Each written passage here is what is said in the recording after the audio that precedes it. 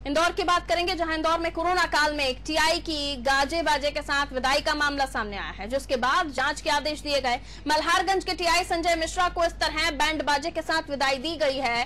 Corona के चलते सभी तरह के सार्वजनिक और धार्मिक कार्यक्रम बंद हैं। उसके बावजूद एक टीआई की इस तरह से विदाई, ये बताने के लिए पर्याप्त है कि कोरोना को लेकर पुलिस कितनी संवेदनशील है। हालाँकि ये मामला सामने आने के बाद 24 घंटे में जाँच के आदेश दे दिए गए हैं।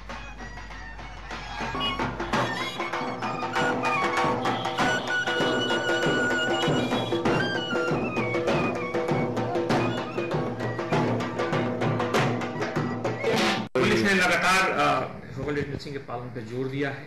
लगातार इसमें अगर पुलिसकर्मी अगर कहीं पालन का उल्लंघन किया, उनके विरुद्ध भी कार्रवाई की गई है। एक थाना प्रभारी को यहाँ से रिलीव किया जा चुका था। लेकिन उसके बाद इस तरह का वीडियो संज्ञान में आया है। उस वीडियो को गंभीरता से लिया गया है। सीएसपी को उस पर 24 घंटे के अंदर उसमें उसे प्रतिवेदन मांगा गया है। उसके बाद इसमें संबंधित अधिकारी के विरुद्ध कार्रवाई की जाएगी। पुलिस ने लगातार तो कोरोना के इस काल में जहाँ नियमों का पालन कराना जिनके कंधे पर ज़िम्मेदारी है बस वही उल्लंघन करने लगे तो भला कैसे भागेगा कोरोना? सचिन, संवाददाता फ़ोन लाइन पर इस वक्त हमारे साथ इंदौर से मौजूद हैं। सचिन गाजे बाजे के साथ टीआई संजय मिश्रा की विदाई की जा रही थी। लगा तो ये था कि टीआई अपना कर्म करेंगे, यानी जो उनका कर्तव्य है, वो करेंगे और इन्हें मना करेंगे यहाँ से जाने के लिए, लेकिन वो तो बड़ा एंजॉय कर रहे हैं। जिनके कंधों पर ज़िम्मेदारी है, वो ही कोरोना को कम इन कम इन कर रहे हैं तो भला कैसे भागेगा कोरोना? जी बताना चाहूँगा कि आप जैसा वीडियो में देखा है आपने और अभी टीवी स्क्रीन पे जो वीडियो चल रहा है उसमें साफ़ ज़ाहिर दिख रहा है साफ़ ज़ाहिर होता है कि उसमें टीआई साहब को कोई फ़र्क नहीं पड़ रहा है जबकि मल्हारगंज थाना क्षेत्र एक ऐसा क्षेत्र है वहाँ पे बहुत सारे कोविड के पेशेंट्स निकले हैं। उस क्षेत्र में कईयों की जान कोविड से गई है। उसके अलावा पूरे कोविड में वो खुद ड्यूटी पे रहे हैं उनको एक एक चीज़ बारीकी से मालूम है। उसके बावजूद भी इस तरीके का विदाई समारोह आयोजित करवाना या यूँ बोले कि उनके सा, उनके जो साथ वाले हैं जो उनको पसंद करते हैं व्यापारी उन लोगों ने इस तरीके का मतलब आयोजित करना और इस तरीके की विदाई देना इस पे बहुत सारे सवाल खड़े करता है। वहीं जब हमने डीआईजी साहब से इस बारे में बात करी तो डीआईजी साहब ने स्पष्ट बोला कि बोले ये बहुत गंभीर मामला है क्योंकि कोविड की गाइडलाइन के मुताबिक भी बहुत सारी चीज़ें मतलब मानी नहीं गई हैं। कोविड की जो गाइडलाइन है, उसके बावजूद भी आज इस तरीके से इनका वीडियो वायरल होना सुबह से मतलब कल रात को जब ये इनकी विदाई हो रही थी, जब ये शिवपुरी के लिए निकले थे, क्योंकि इनकी पोस्टिंग अब शिवपुरी में की गई है। और उसके बाद जब हमने डीआईजी साहब से बात करी तो डीआईजी साहब ने स्पष्ट बोला कि बोले, हमने इसमें जाँच बैठा दी है, बहुत चीज़ बहुत ये बात ये गलत है। और 24 घंटे के अंदर सीएसपी को जाँच की पूरी कंप्लीट करके हमको सौंपने का बोला है। जी।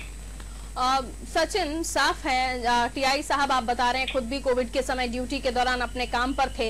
इंदौर को संवेदनशील तरीके से उन्होंने समझा भी होगा, क्योंकि इंदौर में किस तरह से पेशेंट बड़े हमने देखा।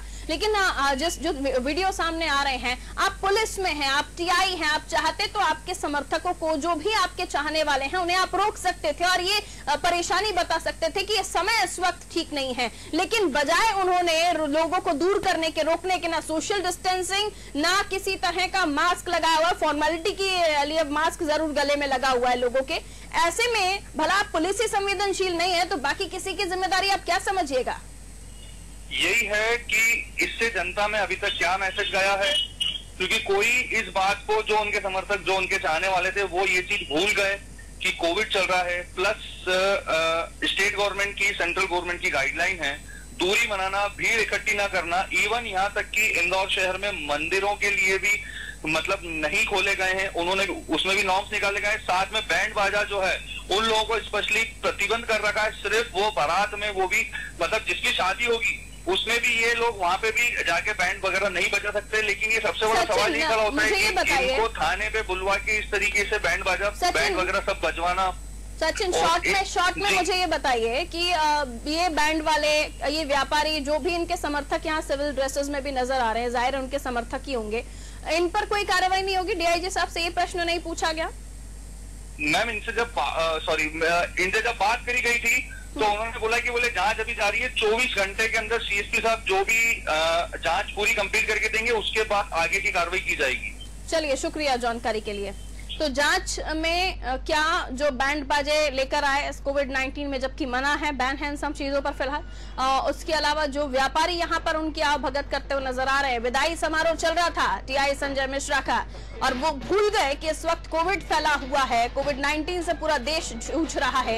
इंदौर, जहाँ कोरोना कंट्रोल में नहीं है, मध्य प्रदेश, जहाँ कोरोना कंट्रोल में नहीं है, ऐसी स्थिति में, ऐसी सिचुएशन में भला टीआई साहब को क्यों नहीं महसूस हुआ कि विदाई समारोह की ज़रूरत नहीं? फ़िलहाल विदाई कोरोना की होनी चाहिए, क्योंकि खुद भी वो कोविड के लिए ड्यूटी कर चुके हैं। बावजूद उसके, बड़ा एंजॉय कर रहे थे टीआई साहब। देखिए।